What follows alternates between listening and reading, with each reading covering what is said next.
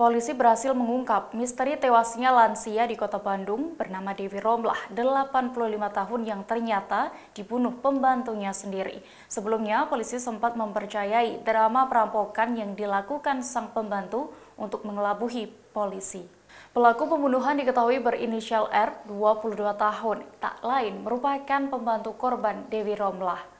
Dilansir tribunjabar.id, Kapolres Tabes Bandung, Kombes Ulung Sampurnajaya mengatakan pihaknya sempat mempercayai dan menanggapi serius pengakuan R, yakni menyebut ada dua orang misterius masuk ke dalam rumah dan menganiaya R dan Dewi. Menurut kesaksian tetangga bernama Riki yang sempat melihat korban meninggal, ia awalnya didatangi oleh pelaku.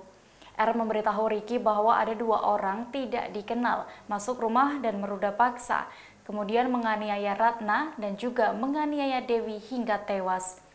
Ricky pun melihat R dalam kondisi terluka di bagian sekitar perut. Namun dalam penyelidikan, nyata-nyatanya tidak ada saksi yang melihat dua pria misterius yang disebut R masuk ke dalam kompleks. Hingga polisi akhirnya menemukan fakta bahwa luka-luka di tubuh pelaku ternyata hasil perbuatannya sendiri.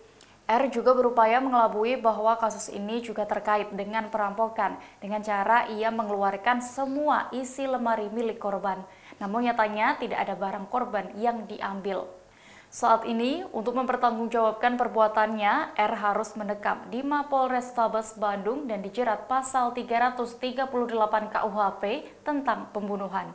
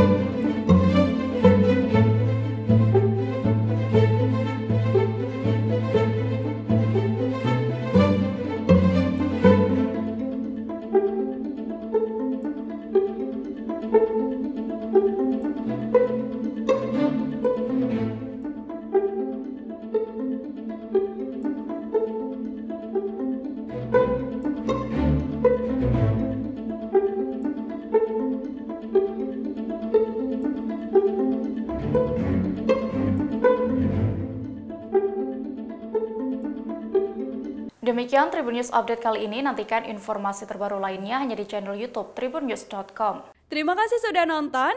Jangan lupa like, subscribe, dan share ya.